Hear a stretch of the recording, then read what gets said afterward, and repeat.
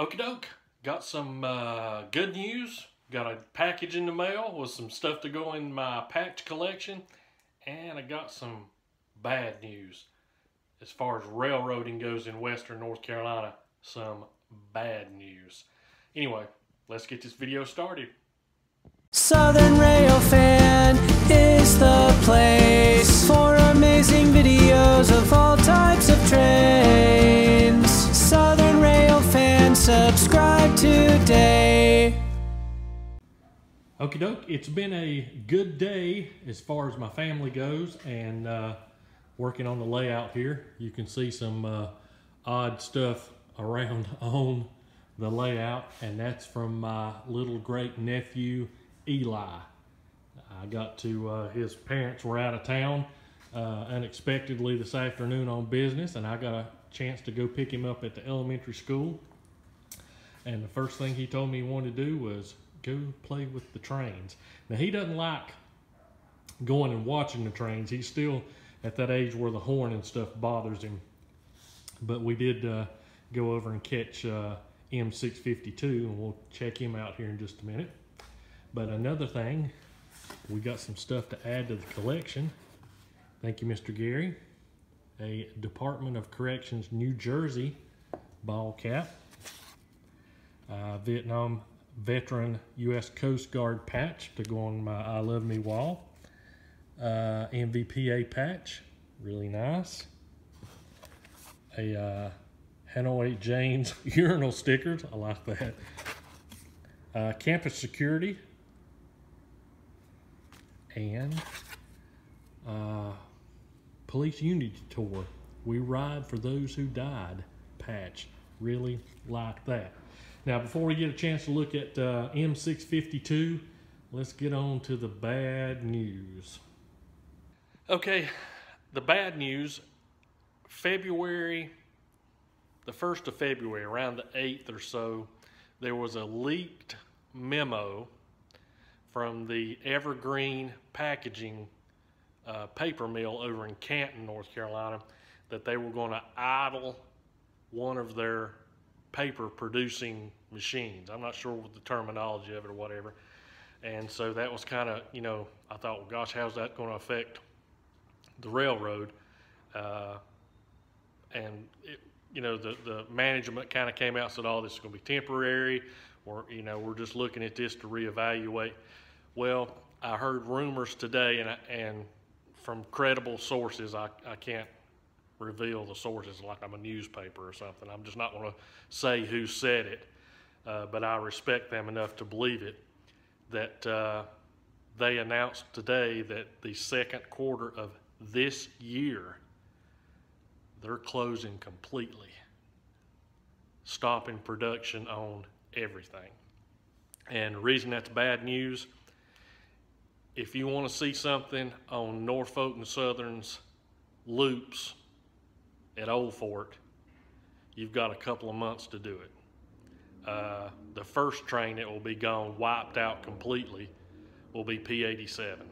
P87 comes from Asheville down to Bridgewater, North Carolina on the McDowell County, Burke County line and picks up wood chips. Those wood chips go solely to that mill in Canton, which they're going to be closing. So unless it is called Bristol Industries that makes the wood chips down here, unless that industry finds something to the east for those wood chips to go or on further west, that mill's gone too. So, you know, everybody's kind of been talking over the last years or so about, you know, is NS going to sell the line to a short line? You know, is Blue Ridge Southern, which runs the line from Asheville to Canton. You know, are they going to take over the line? Well, the Canton mill was probably 80, if not 90% of their workload. It, it may be a possibility that railroading in western North Carolina from Marion on west is over, is gone there is a few industries uh, right around Asheville that take some pelletized plastics. Uh, there's a couple of places in Black Mountain that take uh, uh, some tank cars of some type of chemical, uh, tar or something there. Anyway, I don't think all that would be enough to support even a, a medium sized short line. It may be a mom and pop's type thing where you got an old GP 18 or something that you go all the way to Hickory to pick up some cars to come through, but uh, this doesn't look good. I mean, it's heartbreaking. I, am pretty well sure that uh, if if this does happen in, and, Canton, that Evergreen Packaging shuts down in Canton, I mean it's it's bad. It, it, it's it's bad. I just don't see Norfolk and Southern keeping anything west of maybe Morganton. I, would say west of Hickory. So, sign of the times. Uh, I guess either the type of paper that they make there at uh, at that mill, we just don't use anymore. If it's print paper or, or what it is they they do there. So uh, I don't say a whole lot about religion on this channel uh, because I always think I've always thought that your relationship with your maker or no relationship with your maker's your business, not mine. But if you're praying, there's a lot of people out there, not just rail fans, that's going to have their heart broken like me not to see the trains anymore. There's people out there that that's their livelihood. There's people that's moved to be able to work at that plant. So when you go to bed tonight, say an extra prayer for everybody affected by the possibility, real good possibility that uh, this mill is closing. So let's jump over and uh, bring it up a notch to some happier times today. Let's go check out northbound M652 over at Moodytown.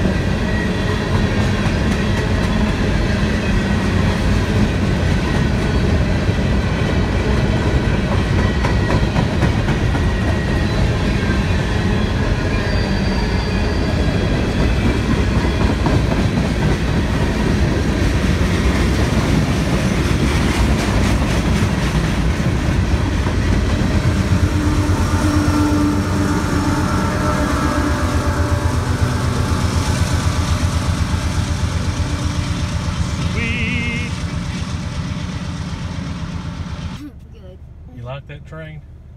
All right, let's go get some candy. Okay. All right, hop in the back, get in your seat, and we'll buckle you up. Okie dokie. Thank you guys so much for watching. Uh, remember those prayers. We'll see you tomorrow.